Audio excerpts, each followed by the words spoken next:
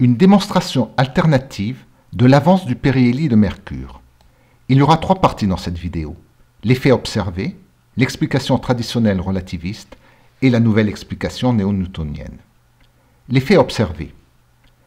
Dans les années 1850, étudiant la précession du périhélie de Mercure, le savant français Le Verrier, en utilisant la loi de gravitation de Newton, trouva une différence entre le calcul théorique et l'observation. Différence néanmoins très faible, environ 43 secondes d'arc par siècle. L'explication relativiste. Selon la théorie de la relativité, le temps et l'espace sont variables et dépendent de la matière et de sa vitesse, et la force de gravitation n'existe pas. L'attraction est un effet de l'espace-temps. Utilisant quelques simplifications discutables, la valeur de 43 secondes d'arc de la précession est ainsi trouvée.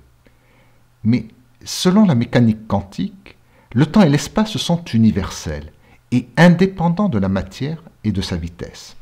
Le problème, c'est que nous vivons dans un seul monde. Deux théories différentes sur un même sujet, et en particulier sur le temps, rendent cette situation en physique incohérente. L'explication néo-newtonienne. Gardons l'hypothèse d'un temps universel et d'un espace constant, comme en mécanique quantique, et comme c'est déjà le cas en mécanique newtonienne. Examinons les deux masses de la loi d'attraction. L'une est la masse attirée, l'autre est la masse attirante. Faisons ici l'hypothèse que la masse attirée est inerte et que la masse attirante est la masse gravitationnelle. Alors, il peut être démontré que la valeur additionnelle de la précession du périhélie de Mercure est égale à 43 secondes d'arc par siècle, et cela, et c'est là la nouveauté, sans utiliser un temps variable.